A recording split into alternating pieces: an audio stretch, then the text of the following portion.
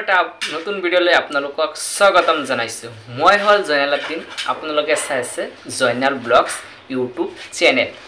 So' guys আজি আৰু এটা ভেৰি ভেৰি ইম্পৰ্টেণ্ট ভিডিঅ' লৈ আপোনালোকৰ মাজত আহি গ'লোঁ। চ' ইম্পৰ্টেণ্ট ভিডিঅ'টো কি এতিয়া আপোনালোকক দেৰি নকৰি চ' আমি ভিডিঅ'টো আৰম্ভ কৰিবলৈ গৈছোঁ। চ' বহুতে জানে গৰম। যোৱা বছৰতকৈ যোৱা বছৰৰ আগৰ বছৰ যিটো আজিৰ পৰা পাঁচ বছৰ আগত এনেকুৱা গৰম নাছিল।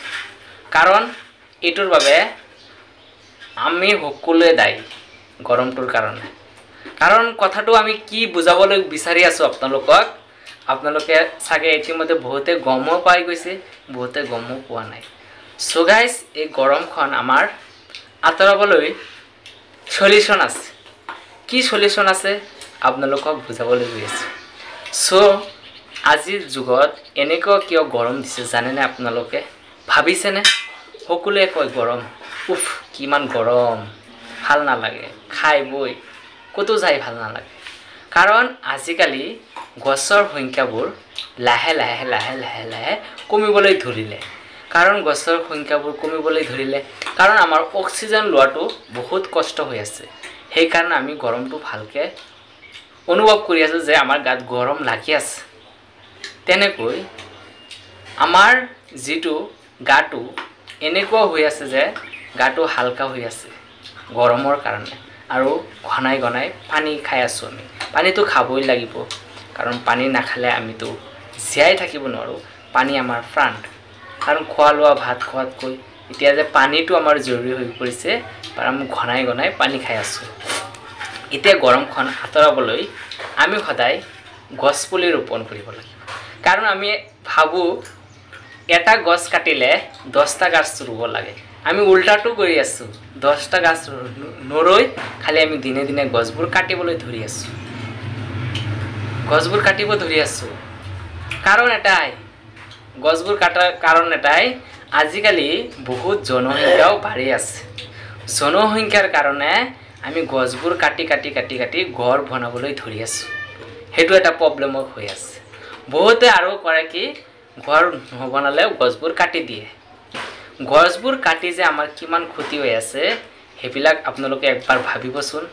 সেইকাৰণে আমি আজিকালি গৰমৰ কাৰণে ভুগিব লগা হৈছে। গোটেই অসমখনে চাক গৰমে ধুই আছে। জনসংখ্যাও বৃদ্ধি হৈ আছে এফালে গৰমো বাঢ়ি আছে এফালে গছো কমি আছে। একেলগে চাক তিনিটা বস্তু একেৰাহে হৈয়ে আছে।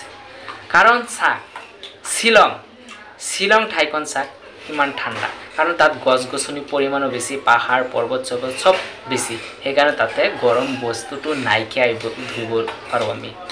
কাৰণ আমাৰ অসমতো বহুত ঠাই আছে ঠাণ্ডা ঠাই। কাৰণ ঠাণ্ডা গছ গছনিৰ পৰিমাণ বেছি। সেইকাৰণে সেই ঠাইবোৰ চব ঠাণ্ডা হৈ আছে। আমাৰ ফালে চাক কিমান গৰম। গৰমৰ কাৰণে আমি থাকিব নোৱাৰোঁ। কাৰণ সেইটো বেলেগক দুখী লাভ নাই ঈশ্বৰ বা আল্লাহ ভগৱানক দুখী লাভ নাই। কাৰণ আমি এইটো নিজে নিজে ভাবিব লাগিব গছ আমি সদায় লাগ লগাব লাগিব। গছপুলি ভালকৈ ৰোপণ কৰিলেহে অক্সিজেন সংখ্যাটো পাৰিম। অক্সিজেন লৈ আছোঁ গছে আমাৰ পৰা কাৰ্বন ডাই অক্সাইড লৈ আছে। চাক এটাৰ লগত এটা মিল আছে। আমি এইবিলাক কল্পনা একবাৰ কৰোঁনে আমাৰ জীৱনখন কেনেকৈ পাৰ হৈ আছে দিনৰ দিনটো।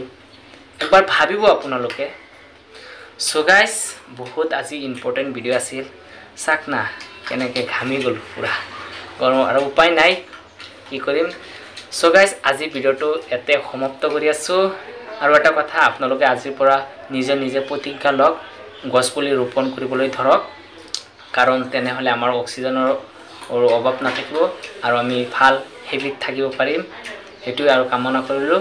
চ' গাইজ আজি ভিডিঅ'টো আপোনালোকে অলপ শ্বেয়াৰ কৰিব যাতে আপোনালোকৰ শ্বেয়াৰৰ সুযোগত মানুহে গম পায় আজি কি ইম্পৰ্টেণ্ট বিষয়ে আলোচনা কৰিম। আপোনালোকৰ এটা শ্বেয়াৰতো বেলেগে গম পাব যে মই এটা গছ পুলি ৰোপণ কৰোঁ। ৰোপণ কৰিলে আপোনাৰো ভাল মোৰো ভাল। কাৰণ আমি আমি ভালকৈ শান্তিত থাকিব পাৰিম গৰমৰ পৰা হাত সাৰি থাকিব পাৰিম। কাৰণ ফেনটো ফেনৰ ভল্টেজ ফেন যে ঘূৰি থাকে ফেনৰ বল ফেনৰ হাৱাতকৈ প্ৰকৃতৰ যিটো নেচাৰ প্ৰকৃতৰ যিটো হাৱা তাৰ লগত তুলনাই নহয়। ফেনত এ চিত যিমানে নাথাকক কিয় তাতকৈ প্ৰকৃতটো আমি বেষ্ট বুলি ভাবিব পাৰোঁ। ত' প্ৰকৃতৰ লগত আৰু কোনো তুলনাই নহয়। চ' আজি ভিডিঅ'টো ইয়াতে সমাপ্ত কৰি আছোঁ। ভিডিঅ'টো ভাল লাগিলে লাইক কৰিব শ্বেয়াৰ কৰিব আৰু নতুন ভিডিঅ'ত আকৌ লগ ধৰি আছোঁ।